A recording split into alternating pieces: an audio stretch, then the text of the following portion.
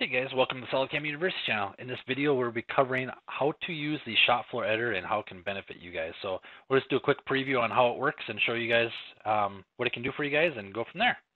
So what we're going to do is we're actually going to run SolidCAM as a standalone. We're not going to open up SolidWorks, we're just going to run SolidCAM by itself. And this is basically shop floor editor right here. Um, it's not going to have the SolidWorks behind the scenes for you guys. Um, and it's just going to open up this little dialog right here.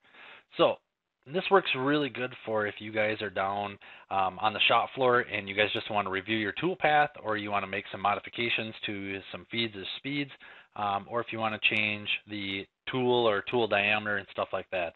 Uh, the only thing you aren't able to do is change physical geometry. So from right here, I'll just right click on my cam part and we'll just go up to the, the recent cam parts here.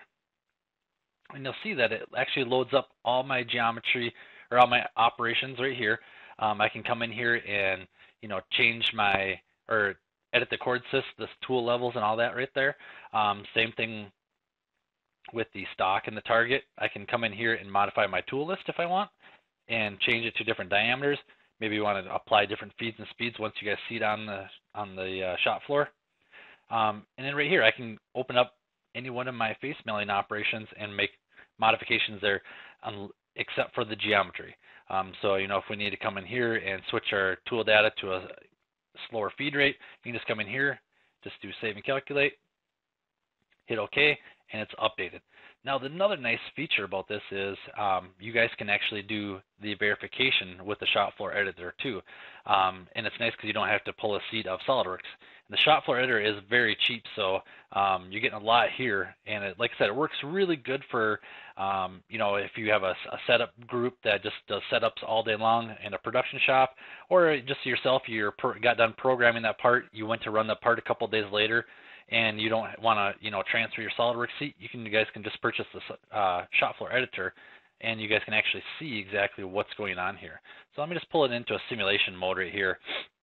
Now you'll see it pulls up a little bit different than what you guys are normally uh, used to seeing, but what you can do is just do, you know, you can uh, do a 2D, 3D, everything but HostCAD. And the reason we can't do HostCAD is because we don't have SolidWorks um, at our fingertips right here. So just do a solid verify.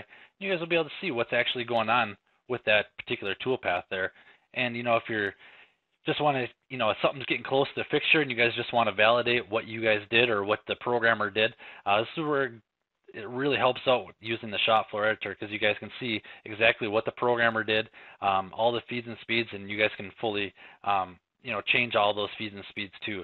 And the nice thing too is once you guys update those feeds and speeds, that's going to update the programmer's uh, uh, program also. So if you change that feed rate from, like you saw, we went from 300 down to 200, it's going to update the programmer's uh, program at the same time. So next time he goes to open that part up, it'll already be updated for him, and uh, he doesn't have to go and make changes to that program also. So uh, just wanted to show you guys how kind of shop floor editor works here and um, how it can benefit you guys. But uh, that should be it. If you guys have any questions, definitely give us a call on the support line, 866-975-1115 extension 2. Thanks, guys. Have a great day.